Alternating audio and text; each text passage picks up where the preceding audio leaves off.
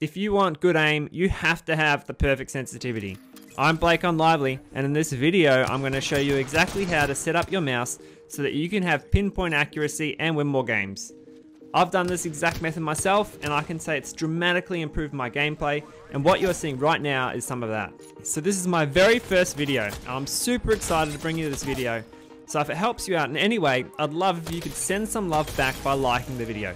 And if you want to see more like this, hit that subscribe button and the bell to be notified every time I post a new video. That'd be awesome and super helpful guys. Thanks so much. Cool, cool, cool, cool. Alright, let's do this. So first of all, we need to check your settings to make sure that nothing weird happens when you're trying to play the game. So go to your control panel and find mouse, which is uh, here. Click on mouse and go to your pointer options tab.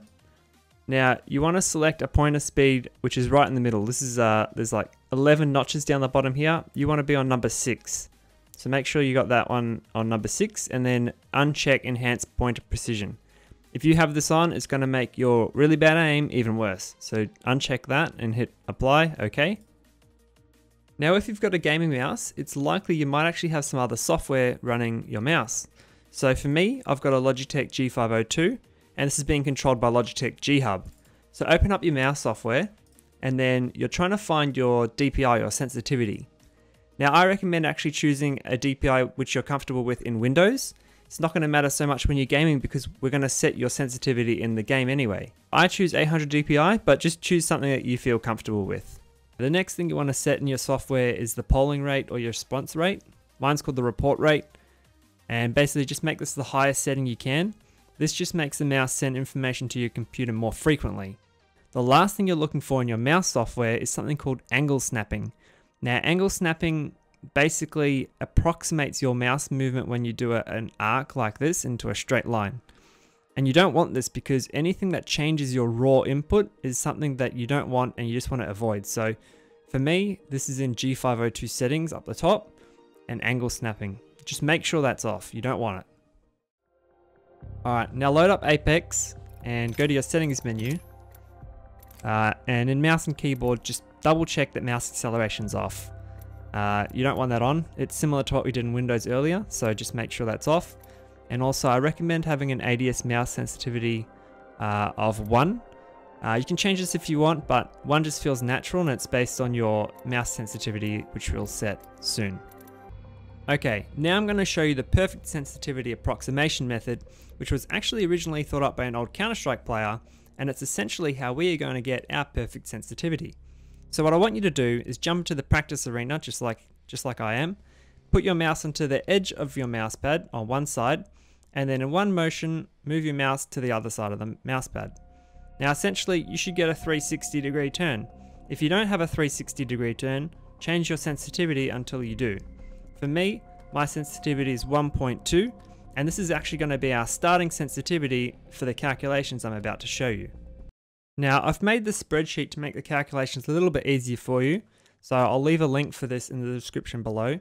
For those of you who like to make things a little bit harder for yourselves, I'll also put the calculations in the description so you can do them manually. Alright, so once you've got this open, uh, grab your starting sensitivity, which was your 360 sensitivity we just found before, and enter it into this cell here. For me, that was 1.2. Now you'll notice that you actually have a value for your sensitivity in the lower column and one in the higher column. There's also one in the average column, which is just for reference. Once you've got your lower and your higher sensitivity values, go back to Apex, open up your settings, and change your mouse sensitivity to the low setting. For me, that's 0.6. Now, I picked Bloodhound as a target, but you can pick something else, Essentially, you just want something small like a head that you can aim at. So what you need to do is you need to trace this target, essentially. So you need to move in and out and try and trace this target's head with the new sensitivity. So you want to try this at close range and at far range. For me, I don't do too bad when I'm far, but at close range it's really difficult because I'm running out of mouse space. So you can do this for a minute even up to five minutes if you want to get used to it, but I find that yeah, somewhere around the minute mark's good. So this feels really good at long range, but I just can't do it at close range. Now you need to change it to your high sensitivity value, which for me is 1.8. Then go back and do the same thing. So move in and out try and trace the target at different ranges. So for me, I use low sensitivity, um, but this is actually not too bad. Like I can I can control it. At far range, it gets a little bit harder though, uh, but it's not better, and it's probably better than the lower value. So what you need to do is go back to the calculation sheet. You want to enter what you think felt better in the practice just then.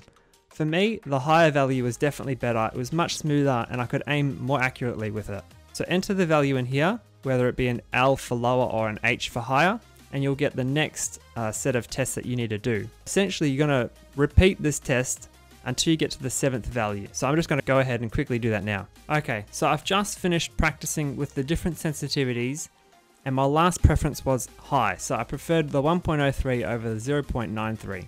Once you enter this value, your perfect sensitivity is going to be shown. For me, it's 1.01. Once you're done, you can actually enter your sensitivity into this uh, sensitivity averages field that I've got down here. Now I'm going to do that now, and you'll see my sensitivity average has just changed. It was 0.99 I believe, yep, now it's 1. Now, the reason I've created this field is so that you can actually train yourself on different days or test yourself on different days. And depending on how you feel, you might have different sensitivities. So if you look at my comments, here I've gone a little tired. I was sitting, early morning and coffee, sitting down, mid afternoon, hungry, standing. I've actually got a sit stand desk, so I'm filming this uh, standing up. So I can uh, I could say filming, standing, sore throat. Now let me ask you, how often do you change your sensitivity? I know that I used to change mine probably once or twice a week depending on how I felt, and now I've learned that you don't actually want to do this. Every time you change, you're basically resetting your muscle memory and reflexes and have to learn all over again. Training and practice is the only way you will get better and build consistency and muscle memory. Now the Apex training area is pretty limited, so you'll probably want to jump into a game and just try out the different guns and practice tracing your enemy while shooting at them.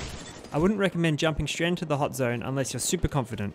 Just go near the hot zone, get some guns and then head towards the gunfire. Your aim will improve the more you play and the more you get used to your sensitivity. Now personally, I think the best way to actually improve your muscle memory and reflexes is custom maps within Counter-Strike. These custom maps are specifically designed to improve your aim. Now I'll put some links in the description below for the maps that I use if you want to give those a try.